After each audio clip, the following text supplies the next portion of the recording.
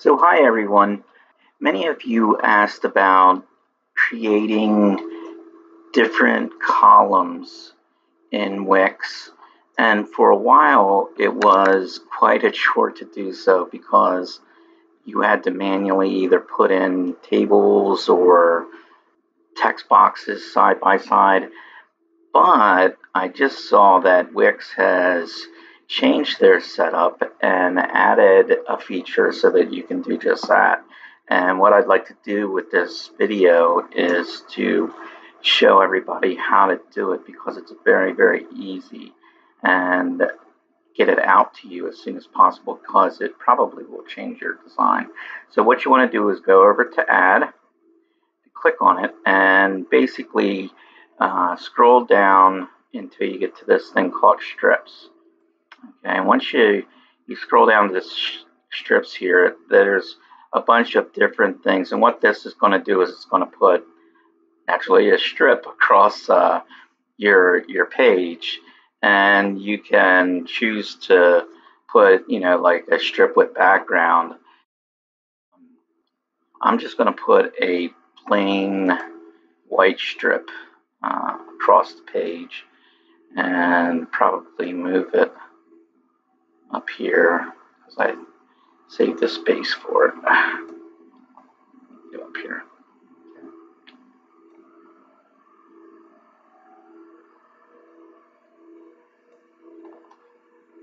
But like everything else,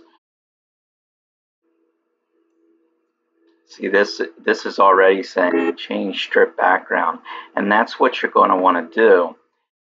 Do that. Like if you click on this, see it already has different backgrounds that that you could choose here and almost positively certain that you can also yes right up here you could change the color. So we could we could go in and basically you know color this as we would like to probably pretty close to what we have there or you know actually go ahead and you know, get it even closer.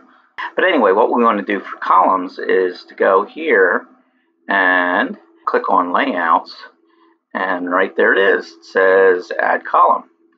Okay, and what that'll do is it'll add a column. You can add up to five of them across here. You can also uh, align the content as you wish. You can, once you add it, so here I am, I just added it, okay, and there's the content. And if you click on Manage column, uh, see it, it asks which one, because okay? now that I added one, I have two columns.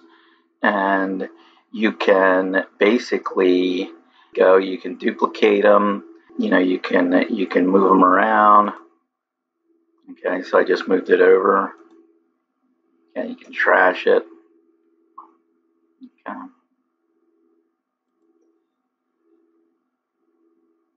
And also stretch columns. Okay. Over here you can also mess around with the alignment and everything else that you would do, including I think there's there's places in here. I haven't played around with it enough, but uh, supposedly you can you can mess around with you know like the border space and all that stuff. Anyway, so if you would like to, this is the way um, oh yeah, look at that.